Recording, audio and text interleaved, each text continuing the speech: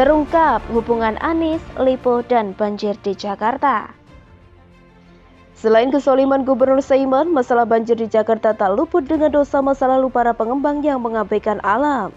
Seperti banjir di Kalimantan Selatan yang diakibatkan banyaknya pembukaan sawit dan tambang batu bara. Banjir di Jakarta hari ini juga ditengarai akibat ulah pemilik properti. Makanya ada berita Sabtu lalu bahwa warga Kemang mengatakan banjir kali ini adalah yang terbesar. Banjir setinggi 1 hingga 2 meter lebih mengalahkan debit air pada Januari 2020 silam. Tentu saja penjelasan Pemprov DKI akan mengarahkan pada informasi soal intensitas hujan, cuaca, dan lain-lain. Tak ada satupun penjelasan soal dana penanggulangan banjir yang dialihkan ke Formula E, ketidakjelasan normalisasi sungai dan sebagainya. Apalagi penjelasan mengenai salah satu pengembang elit yang ternyata ada di balik ini semua. Sampai akhirnya ada netizen yang berani menguak keterlibatan Lipo. Satu hal yang luput dari perbincangan banjir parah di Kemang hari ini, Lipo, cuit akun Akviaswan disertai beberapa gambar. Sampai artikel ini saya tulis, tweet tanggal 20 Februari 2021 tersebut mendapat 10,5 ribu retweet dan 30,1 ribu like. Saking viralnya cuitan warganet tersebut langsung mendapat tanggapan dari Lipo. Dari sana hubungan tak baik Lipo dengan Ahok mulai terungkap. Ini juga alasannya kenapa Lipo dan Anies terlihat sangat mesra. Seperti diberitakan Kompas.com, Vice President Corporate Communication PT Lipo Karawaci TBK Danang Kemayu Jati membantah tudingan warganet bahwa Lipo merupakan penyebab banjir di Kemang. Kalau tidak ngerti jangan sok tahu, Lipo Kemang Village itu sudah direncanakan sejak puluhan tahun, ujar Danang pada Minggu 21 Februari 2021. Danang mengatakan Lipo sudah mematuhi semua regulasi pemerintah daerah saat membangun Kembang Village. Menurutnya, kawasan elit seluas 15,5 hektar itu telah mendapat izin sebelum pembangunan berjalan pada 2007. Semua izin kami kantongi terkait penggunaan tanah dalam rangka izin pemanfaatan ruang yang sesuai dengan rencana tata ruang wilayah atau RTRW DKI Jakarta, kata Danang. Danang juga menolak pernyataan bahwa Kemang Village berdiri di atas tanah resapan. Lipo sebagai pengembang juga telah mendirikan kolam retensi yang dapat menampung air 100.000 meter kubik. Namun, sebelumnya mantan Gubernur DKI Jakarta Basuki Ahok Purnama pernah menyoroti bangunan mewah di bantaran Kali Krukut.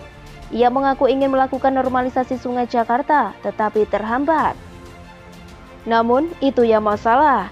Kita nggak mungkin bongkar Kemang Village karena punya sertifikat hak milik semua. Ini kan kejadian-kejadian dulu yang kita berusaha perbaiki, kata Ahok saat menjabat sebagai Gubernur DKI Jakarta, Senin 29 Agustus 2016. Meski begitu, Ahok saat itu mengaku tak akan tebang pilih dan akan membongkar kawasan elit itu. Mungkin perseteruan dengan Ahok ini yang membuat dukungan Lipo beralih ke Anies. Seperti dilansir Kompas.com, Direktur Lipo Group John Riyadi angkat bicara usai terpilihnya Anies Baswedan dan Sandiaga Uno sebagai Gubernur dan Wakil Gubernur DKI Jakarta. John mengatakan, sebagai pengusaha dirinya memiliki keyakinan bahwa duet Anies Sandi memiliki kapasitas untuk membawa ibu kota menjadi lebih maju.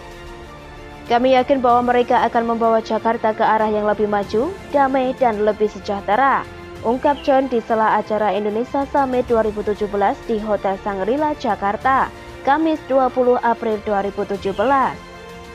Lalu disusul berita pembangunan kampung akuarium oleh Lipo dan adanya ketidakberesan IMP milik Lipo yang seakan dibiarkan Pemprov DKI. JPNN, ada duit Lipo di kampung akuarium. Ini penjelasan anak buah Anies Baswedan. Warta Ekonomi, Gubernur Anies diminta CRPP periksa IMP Lipo Group. Akhirnya satu persatu Tuhan bukakan kebobrokan Anis beserta para cukong busuk di belakangnya. Ini tak jauh beda dengan kemesraan Anis dengan Satar Taba akibat permusuhan lama dengan Ahok. Anis waktu itu juga dengan kelicikannya mengubah definisi reklamasi dari pulau reklamasi menjadi pantai reklamasi untuk menyelamatkan Satar. Benar saja kalau belakangan ada isu dukungan dirut KBN ini untuknya. Kesimpulannya, semua para mafia yang menggarung DKI otomatis akan jadi kawan mesra Anies. Ini makanya hingga detik ini hanya warga DKI yang waras yang kesal akan kelakuannya. Dari sekian fraksi DPRD, hanya PDIP dan PSI yang masih lantang berteriak. Jangan tanya BPK hingga KPK ke mana. Dahulu petinggi BPK sudah bertengkar dengan Ahok soal sumber waras. Begitu juga Ketua Penyidik KPK yang adalah sepupu mesra Anies. Banjir di Jakarta kini adalah kado termanis akan kebodohan warga DKI. Mereka tega menggadaikan kotanya demi preman pelindung mafia yang berkedok santun dan seiman. Begitulah kura-kura.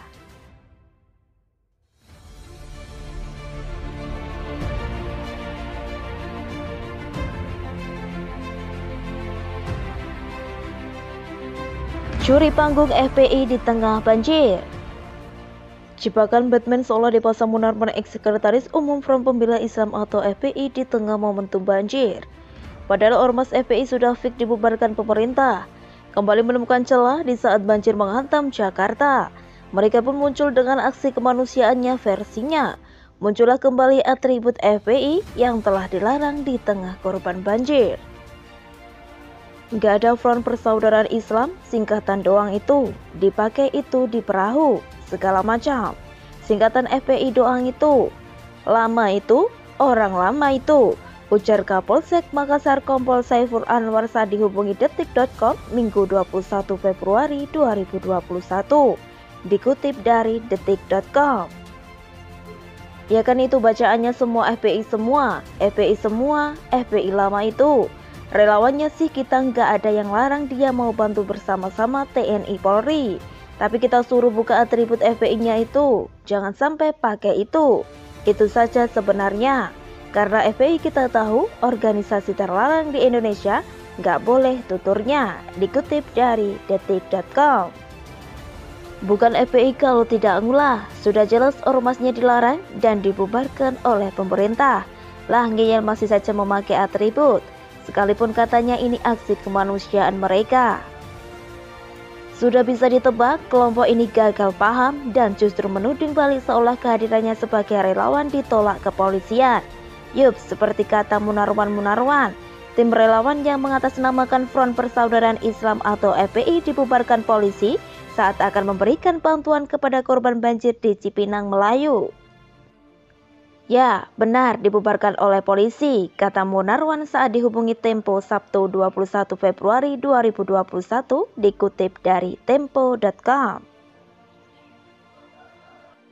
Padahal tim kemanusiaan kami datang bawa bantuan, buka dapur umum dan membawa tim evakuasi, bunyi keterangan yang dibenarkan Munarwan itu, dikutip dari tempo.com. Relawan kemanusiaan dipaksa bubar oleh makhluk kepinatangan, kata Munarwan melalui pesan singkat Minggu 21 Februari 2021 dikutip dari detik.com. Wow, maha benar FPI kembali playing victim dan Aji mumpung dalam segala suasana memang jagonya. Apalagi kehadiran mereka di tengah masyarakat yang sedang mengalami musibah. Ini bisa jadi lucu, bakal ada yang mengira FPI malaikat tak bersayap mengakaburkan rekam jejak mereka selama ini yang kerap bikin kisruh negeri dan bahkan menolak Pancasila sebagai ideologi. Padahal sesungguhnya yang terjadi di lapangan, para relawan XEP ini dibubarkan karena logo atau atribut yang mereka kenakan. Jadi bukan karena aksi kemanusiaannya. Maaf ya kalau kita ambil contoh logo PKI atau Nazi beredar bebas. Boleh nggak? Mikir.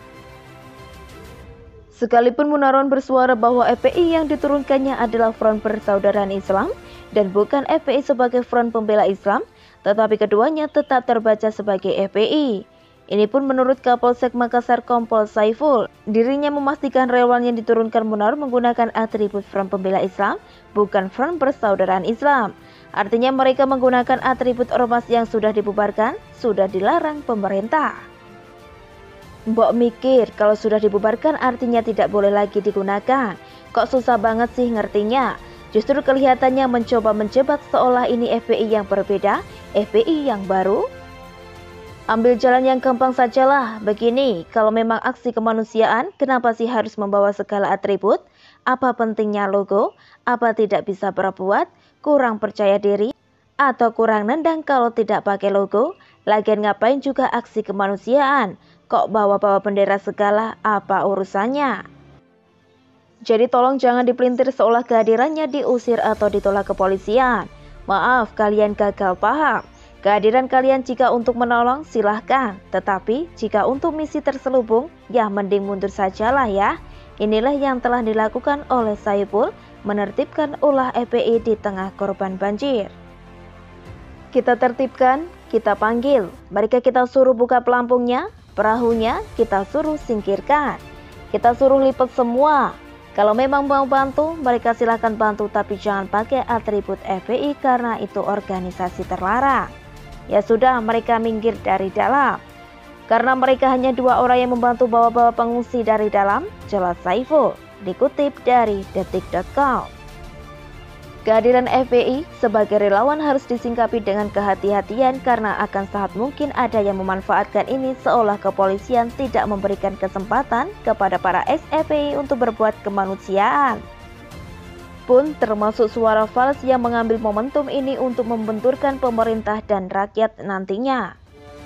Padahal yang diwaspadai oleh kepolisian dan pemerintah adalah lahirnya kembali FPI yang notabene sudah resmi dibubarkan. Jadi bukan aksi kemanusiaannya. Hmm, semoga rakyat bisa cerdas mengerti ini.